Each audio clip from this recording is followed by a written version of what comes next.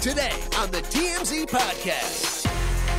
Hello and welcome to the TMZ podcast. I'm Wyld, and today I am here with Shannon. Let's go. Shannon. Hey. Hello. what's up? Okay, first of all, let me tell the people this. Charlie Cotton still works here. Yes. He is still the host of the TMZ podcast. Charlie is sick this week, y'all. People get sick. It's cool. It's the Mhm. wintertime. Um, so I'm filling in for Charlie until he gets back. But Shannon, Wyld. hello. What's up? Shannon is one of the producers in our sports department. So Shannon knows all things sports. Exactly. We have some uh, a crazy sporting event went down last night, but Shannon was explaining to me this morning that it ain't that serious. It's not that serious. so we're going to talk about Draymond Green and the chokehold that he puts uh, Rudy Gobert in, Yes. and we're going to talk about uh, more sports news. Shannon, I really, I really tailored this show for you today. No, you didn't. Travis Kelce and Jason Kelce have a new Christmas song. You lucky it's Christmas because that's my favorite holiday. But if yeah, that's you, we're just gonna go from there. Okay. But the big story Will Smith has come out and denied allegations that he had sex with Duane Martin. So this is a very strange. I'm ready to get it. It's strange, Shannon. Let me tell you. So, a man who goes by Brother Bilal, he claims he was Will Smith's assistant for some time. He did an interview with Tasha K. We all know Tasha K. She's a YouTuber, blogger, the Unwind of Unwind with Tasha K fame. Mhm. He did an interview with Tasha K, and Bilal claims that when he was working on a Hollywood set back in the day, he was looking for Will Smith. Duane was also there. They were both on the set at the same time. He was in charge of kind of like overseeing and handling them. That happens a lot in Hollywood. You have like people to bring you to set or bring you food or whatever. So Bilal was essentially handling both of them. He said he could not find Will or Duane. This is all his allegations. He alleges he couldn't find either one of them. And then he went to Duane's dressing room, and then this happened. So, all right, I open the um, door to Duane's dressing room, and that's when I see Duane and having anal sex with Will. Let me process that for a second. There was a couch, and um, Will was bent over on the couch, and Duane was standing up, killing him, murder, like murder. It was murder in there. Hmm, I have multiple thoughts, but Shannon, I'll let you go first. First of all, Will should have slapped him and not Chris Rock. Speaking of slap, it's like I'm just saying, for him to be a best friend of years, how you coming out saying stuff like that? And honestly, it's nobody's, even if he was getting murdered or smashed by Duane, it's nobody's business. Let the man do what he I'm tired of the slander for Will Smith. Leave that man alone. it does seem like for whatever reason society is piling on Will Smith. So Will Smith's rep has come out and like adamantly denied the entire thing. He said the statements are unequivocally false. Um, they also suggested that Will may be seeking legal action against Bilal because this is, according to Will's team, a completely made up and fabricated story. Um, it's interesting though because it's. I'm looking at this twofold because one, you claim to be someone's best friend and a longtime assistant, so it's kind of betrayal on that part. But also, I just, I'm a little bit, I don't want to say upset, but I feel like Will Smith should have ignored this entire thing. And I know that I feel like Will Smith is probably feeling the heat and the pressure of constantly being like berated on social media and having like things thrown around about Yes, him he's always defending himself. in regards to his relationship with Jada and their messy situation. So I think he might have felt the need to come out and say something. But like, I don't really feel like Will Smith had to address this. But do you think if he didn't, people would have been like, wow, it's true. He didn't say nothing. No, I think if he didn't, it would have been a story that circulated online for like two days, and then we would have act like it never happened. Like I tell people all the time, if I am ever famous, I am taking a Wendy Williams approach to everything. Do you remember when Wendy Williams was in the thick of her divorce and her husband was photographed with another woman, and she Mhm. got on that damn television show every day and said nothing, Nothing. for weeks? Yeah, it was a smart move. I'm I'm not responding. It, it could be true. Like I, I'm still business. not responding to things that I feel Right. like are my business and not anyone else's business. Now, like I said, Will Smith and his team has denied it at all. Duane Martin, for his part, has not come out and said anything about it. It only recently just published. Um, but if I was Duane, I would say nothing. Like I'm really big on not addressing rumors that you don't want to circulate because again, once Will Smith addresses it, it was on Tasha K. It was circulating online, so it was big. But like once Will Smith addresses it, it is now a story. You know what I'm saying? Like, He shut up. just he made it bigger than what it was. But it's like still, even like I said, even if he was having relations with Duane, Mhm. it's none of our business. That's why I'm confused on why this dude even came out and just like randomly talking about Will's sex life. Like, Mhm. and you're supposed to be his best friend. What kind of best friend? Are you? Uh, 40 years? Uh, it's weird. no, something's some. No, I don't know if it's clout chasing because I've seen that with social media nowadays. Mm-hmm. Clout chasing is one of the biggest drugs right now. People Mhm. will say anything just to get a little bit of fame, and that might be the situation, especially with Tasha K. But you know, I, I just I feel bad for Will. Will's been going through it for the last what couple years, and he's the Fresh Prince. Do you feel bad Like, for Will? Yes, I do. You, why you don't? No, I do feel. I, I mean, I these do. things are sad, but I don't. I don't really feel bad for rich people like that, Shannon. Oh, because they crying in their mansion. Uh huh. They crying in their Bentley. Yes, They exactly.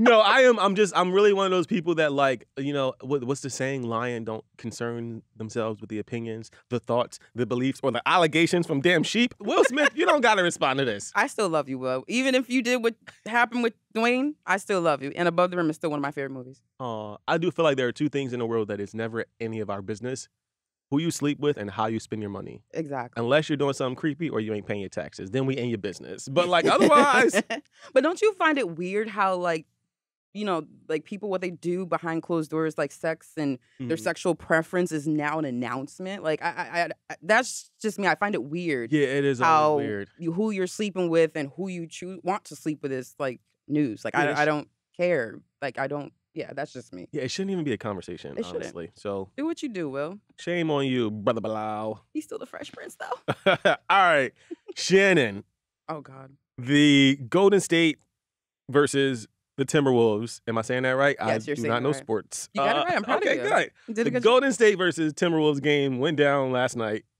and I looked at this and I thought, oh man, this is like it's a Shaolin showdown going down right on the basketball court. Like, but Shannon is our intrepid It was a sports little, a enthusiast. little scuffle. All right, Shannon, break down what happened, start to finish, what went down. So basically, I guess Klay, Klay Thompson and Jaden McDaniels got into it. Mhm. Um, yeah, they tell us who team is on who team because we don't know. We don't. I'm sorry, I forgot. So Klay Thompson, who's on the Warriors, Mhm. he got into a little, little pushy, shovey thing with Jaden McDaniels. He's on the Timberwolves. Hmm. So they got into a little scuffle in the middle of the court, and then Rudy Gobert came in to take Klay off of his teammate. Draymond retaliated, did the same thing, and took him off his teammate. That's how I looked at it. But of course, people said, "Oh my God, Draymond went crazy and did the whole chokehold. He tried to kill him." Blah blah blah. And I get it because Draymond has this reputation of being aggressive. I mean, he just punched the hell out of Jordan Poole not too long ago. Right. We But isn't this his second time getting ejected from a game in like recent? it's basketball. I'm sorry. That that- I'm kind of like old school 90s Shaq Barkley, you know, fight type of girl basketball. So like this was not like for people to say this was a brawl and oh my god, it's almost malice in the palace. Ain't no okay, way. that, that's drama. It was not Malice in the Palace level, but, but was, I'm just saying people were saying that. Oh, this is crazy. I'm like, it was uh, it was a chokehold one though. through ten, it was it was a five point six. Not you rating the foul, Shannon. It was a chokehold though. Like, all right, so it, there's two dudes going at it, and then you see like the the people from each team coming in trying to like break it up, allegedly. Well, yeah, honestly, I, like- I, I mean, I want to say I applaud Draymond for choking him, but I applaud him for defending his teammate because, like Deion Sanders, I don't know if you heard this, he lets his players fight. oh, I didn't know that. Yes, he lets his his players fight during practice and everything. He feels like if you don't fight or defend your teammate, that's a problem with loyalty. So seeing Draymond defend Klay Thompson, I'm fine with it. Maybe the chokehold was a little too much. He could have just grabbed his jersey. Yeah, whatever. thinking maybe but Rudy like his a big arms. dude. He is a big dude. So is Draymond, but still. And Draymond's just a very aggressive kind of player. That's why they love him so much in Golden State. He's the Mhm. heart of that team. No disrespect to Steph Curry or Klay Thompson, but his aggression and his attitude is what makes him him. So Thompson and McDaniel's were both assessed double technicals. I Mhm. don't really know what that means. Tell me. Is that like It's double? a bad foul. Oh, okay. So they got bad files. bad. Files, and then Draymond was hit with a two foul, all automatic ejection. Yes, of course. What does that mean, Shannon? He's out of here. for the game. Yes. All right. So He's probably going to get suspended or maybe a little fine, but I, I, because of his history, he'll probably get suspended. do you? Is this like a common occurrence in sports, in basketball particularly? Like, what typically happens in these situations where players get violent or not? Players get physical on the court. I was about to say it was it was physical though. It was physical, but I usually the NBA looks at it, they investigate, and they either throw out some fines or suspensions. I don't see anything crazy. Me personally, I'm not Adam Silver, but I don't see anything going crazy. Like maybe a one game suspension or a fine, but that's about it. I mean, like I've seen worse. Maybe that's what it is. It's mm. like Malice in the Palace. I I watch, so it's like that's one of the craziest things I've ever Yeah. seen in sporting events. Insane. So for people, like I said, to call this insane to me, it's like uh, it was crazy, but it wasn't like, oh my god. All right, Shannon. I'm sorry. Maybe They I'm say- crazy myself. So they call you up right now and they say, Shannon, you are the acting NBA commissioner. Tell us what is what are the consequences for Draymond Green? What do you say, Mrs. Shannon Adam Silver? A fine. Just a fine? How much? How much we talking? Couple thou. No suspension? He'll be all right. Rudy, you ain't hurt. Rudy, you are not hurt. You a big boy. Wow, sports is a tough world, man. I'm like, all I do is I ride horses, and that's like the extent of my athletic abilities. That's just I, I'm just speaking for myself. That that's me. I, I they're gonna get he's gonna get suspended one game. But if it was me, fine, just find him. But I think, like I said, the history and with the recent thing with Jordan Poole is gonna, Yeah. you know, come back to haunt him. So all right, Shannon, we'll have you back when the hammer is laid down. I'll be like, Adam, so you tripping? He didn't do nothing. All right, last story, and it's it's sports related. I told you, Shannon, this is a sports show today. it's not. Every time we have our sports people from our sports department This here, next- we try to do a little. This next topic, really? it is, it's definitely sports related. Okay. It's more of a combo story. Travis. Kelce. I love combos. Oh, this is a good combination for you. Travis Kelce and his brother Jason Kelce, they have partnered up for a Christmas song. Joy. Do you not like Christmas music? I love. I sing Christmas music all year round. I love Ask Christmas Casey. music. I sing Jingle Bells every day. All right, so they Jason recruited Travis for this song. It's on the upcoming the Philadelphia Eagles has a holiday album, which is like the greatest thing in the world. I am from Philly, and let me tell y'all, we I can use all the holiday cheer we can get. Like it's just uh, the holidays in Philadelphia and on the East Coast are like the most amazing time of the Of year. So anyway, the Philadelphia Eagles they have a holiday album coming, and Jason and Travis have a song. Here's a little bit of that song. in the trunk tank. An old man said to me, Won't see another one. And then he sang a song. I'm really mad. Wyld over here just. You don't like it? He just. It's he in it, y'all. yeah. It's wild, y'all. Do you, the people in the room? Do you guys not like it either? Oh man, well, it's called "A Fairy Tale of Philadelphia." I think it sounds amazing. Like that was Jason that y'all heard singing there. He sounds so good. Like it was given like it's the most wonderful time. You know that you like, sounded better. but you know that like I hear you. I'm dreaming. Like I like that like kind of rustic, a little old school. Little country. like- yeah. I thought it was. It literally sounded like a Christmas song to me. I give anybody credit who sings live or uh, Sings puts out- period. yeah, sings period. Okay. But I think you're a little biased because you're from I'm from Philadelphia. and I'm not a Philly Eagles fan, but I applaud them for doing it because they done this. Uh, well, he did it before with Mhm. the Eagles last time. Um, I applaud it. Um, I love Christmas, so I'll never say ill. I don't want to listen to. it. I love Christmas music. I do want to hear Travis's part, but you know what would have made this song better though? what? Travis Kelce's girlfriend on it. a Taylor Swift feature. Yes. They can't afford that though. you know, you know. I don't think Taylor would love him that much yet. She go, mm. I don't know the way she was kissing that man at that concert. I was like, damn, Taylor or better yet, how about we have Travis jump on Taylor's could do Christmas that. song, That'd be dope. Christmas Tree Farm, That'd be which is a dope. really good That'd be Christmas dope. song.